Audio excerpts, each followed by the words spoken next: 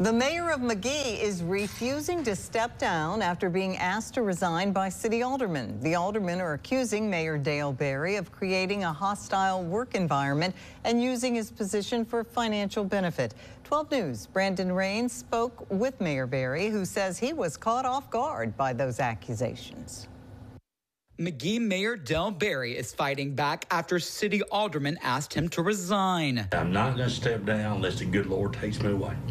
And I said, then y'all get rid of me. But I'm, I'm going to serve my term because I have done nothing wrong. During a special meeting on May 8th, Alderman Mark Grubbs and Sammy Tebow motioned to ask the mayor to resign, accusing Barry of creating a hostile work environment and using his position as a financial benefit for himself, a family member, or a business. Three other aldermen voted in favor. The mayor refutes those allegations. I challenge anyone to come look at the minutes, that's public record, and the claims docket, any checks issued, they're public record. You, you show me where me in my position has taken advantage of the Magee. You won't find any checks written to me or any of my family members. As for creating a hostile work environment, Barry says there's been very little conflict and argues he's been a successful mayor.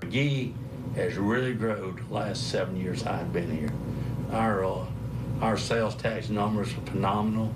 Uh, we're going to start increasing our property property taxes, and uh, I think uh, uh, I think I've done a good job. And like I said, I don't know anything I've done wrong. I want them in that in the minutes. I want them to prove to me what I've done wrong. Mayor Barry is accusing some of the city aldermen for having ulterior motives and asking him to resign. He believes the move is politically motivated. We have election next May. And I think some of those five got their eyes on this job. The mayor says he doesn't take the accusations being brought against him lightly and will be seeking legal representation. My name and my family name is not going to be smeared in this time. We reached out to the city alderman who declined to comment at this time. Reporting in Magee, Brandon Rains, 12 News.